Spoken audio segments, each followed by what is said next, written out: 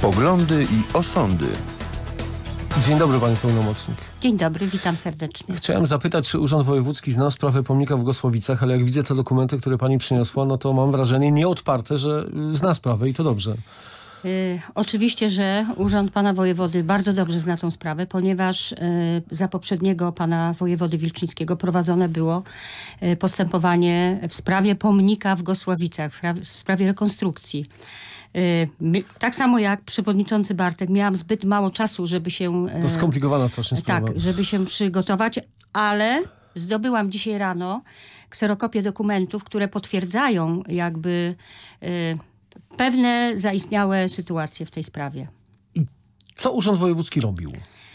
No, to co słyszałam w audycji wczoraj i dzisiaj, to muszę trochę to sprostować. W 2008 roku pan wojewoda Wilczyński wystąpił z Jeszcze zapytaniem... uchwałą Rady Miasta. Oczywiście, wystąpił z zapytaniem do pana Andrzeja Przewoźnika, sekretarza Rady Ochrony Pamięci Walki Męczeństwa, y, z zapytaniem odnośnie rekonstrukcji pomnika w Gosławicach i załączył pełną dokumentację, jaką posiadał, łącznie, ja tu przyniosłam i Z mam, projektem. z projektem szkicy, y, szkic pomnika tych ofiar I wojny światowej, mieszkańców Gosławic.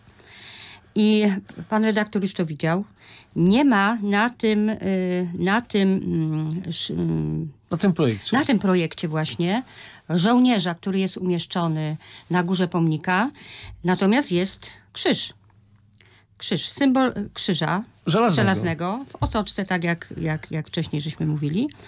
No i są y, napisy na czołowym miejscu. Ja wczoraj nawet po 20 byłam tam, żeby zobaczyć, żeby wiedzieć o czym, chwili, o, że, tak. żeby, żeby wiedzieć o czym mówimy. I e, wówczas pan Andrzej Przewoźnik wyraził pozytywną opinię. Dla tego projektu. Dla tego projektu.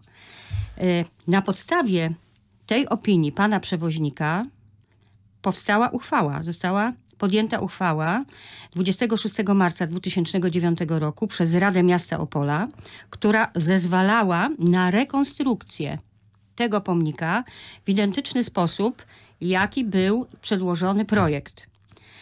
Y, Dzisiaj się dowiadujemy, właściwie nie dzisiaj, No, tak? Wczoraj się dowiadujemy. Wczoraj się wymiana dowiadujemy, pism trwała tak. 5 lat, ale Od pięciu lat, jestem ale- zaskoczony, bo z tej wymiany pism wynika, że Rada potem zakwestionowała W kształt tego 2000 pomnika. y, p- p- po tragedii smoleńskiej, po śmierci pana Andrzeja Przewoźnika, y, inna osoba objęła prowadzenie Rady Ochrony Pamięci Walki Męczeństwa w Warszawie i tu trzeba powiedzieć, nie wiem dlaczego tak się stało, y, przyszła odmienna, wojewoda y, Wilczyński. Znowu wystąpił do Rady, bo, bo zaczęło się wokół tego, y, tego pomnika coś się dziać. I wojewoda wystąpił ponownie z zapytaniem do Rady, i proszę Państwa, i przyszła odmie- przyszło odmienne stanowisko. Negatywna czyli opinia. negatywna z wezwaniem opinia. do dokonania tych zmian, Tak o których mówiliśmy. E, My oczywiście powiadomiliśmy pana prezydenta e, Zębaczyńskiego, Radę i Rada, e, do Rady należały dalsze krok, kroki. Muszę tu powiedzieć, że wojewoda jakby nie wydaje ostatecznej decyzji, ostatecznej opinii. W 2008 roku Wojewódzki Komitet Ochrony Pamięci Walki i Męczeństwa w Opolu podjął pozytywną opinię na, na, na rekonstrukcję tego pomnika w Gosławicach, zaznaczając, że ostateczna decyzja właśnie należy do Rady Ochrony Pamięci Walki i Męczeństwa w Warszawie. E, I tak się zadziało.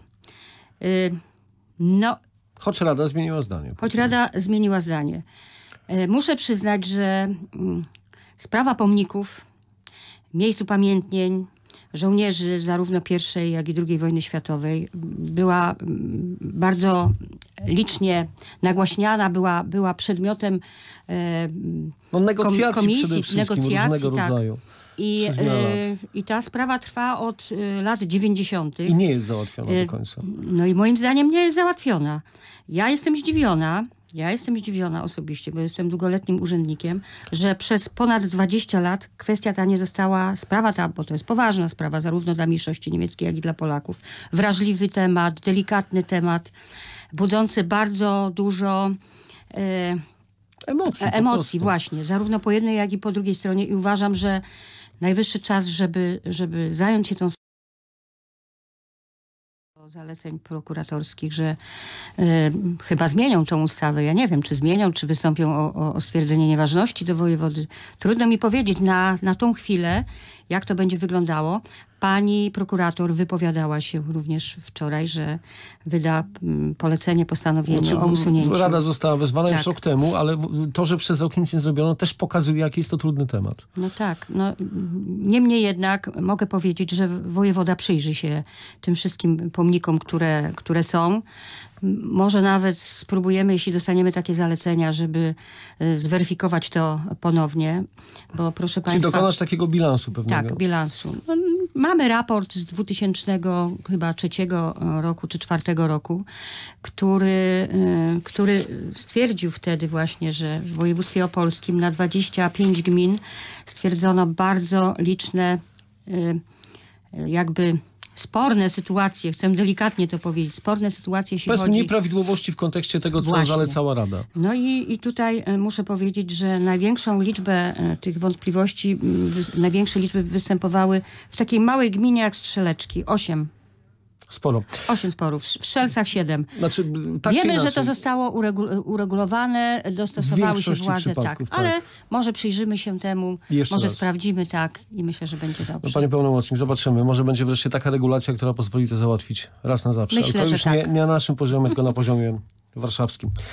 Naszym gościem była dzisiaj Bożena Kalecińska, pełnomocnik Opolskiego Wojewody do Spraw Mniejszości. Dziękuję za rozmowę. Dziękuję bardzo.